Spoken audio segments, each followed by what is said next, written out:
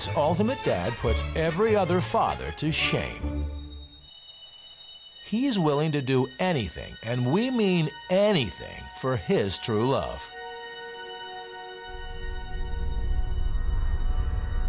Hard luck.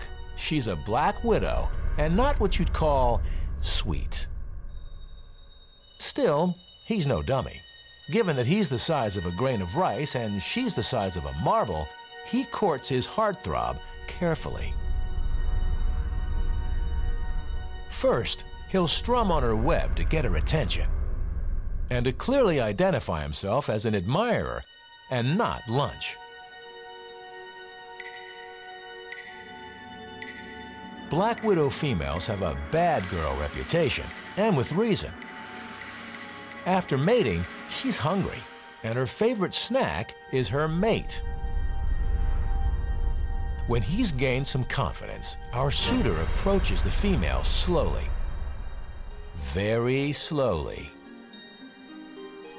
It can take him hours, even days, to reach the apple of his eye.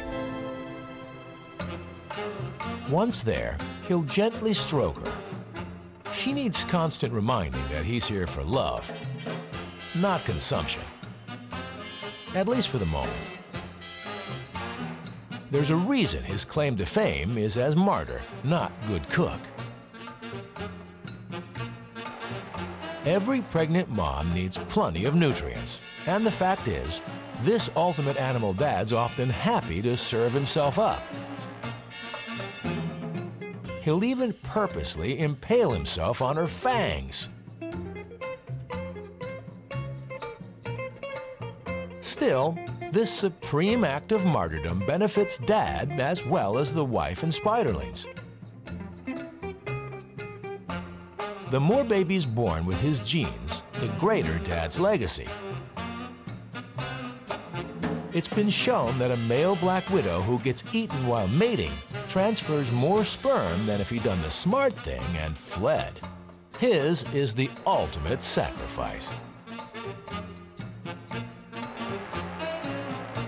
Mom's ability to store this sperm means that she'll continue to give birth to Dad's children long after his death. The Black Widow father is the dad to beat all ultimate animal dads. Giving up life and limb for the wife and kids. And at the same time, leaving the kind of legacy only a human dad can dream about.